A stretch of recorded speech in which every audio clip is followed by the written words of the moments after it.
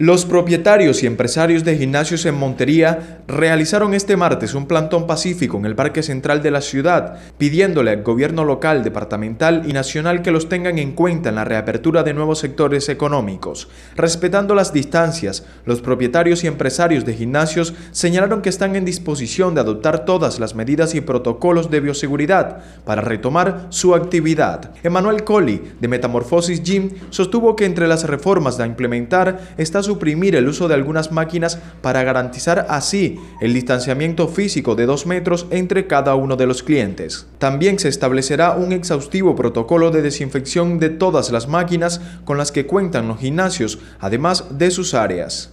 Crear un hábito de higiene en nuestros clientes de uso de toallas, tener que usar tapabocas durante antes y después del entrenamiento, tener que usar, si es necesario, guantes. Otra, otra reforma sería tomar la temperatura antes de la entrada a nuestros gimnasios y quizás después de la salida. Tener un control de cuántos clientes entran, con qué y identificarse plenamente quiénes entren y si es necesario hacer que nuestros clientes nos avisen previamente si van a entrenar. Los propietarios de gimnasios advierten que deben reactivar su actividad productiva cuanto antes, porque ya no son capaces de sostener sus arriendos, servicios públicos y nóminas con los negocios cerrados. Los gimnasios, al igual que discotecas y bares, son hasta el momento varias de las actividades económicas que el gobierno nacional no ha planteado para reapertura gradual.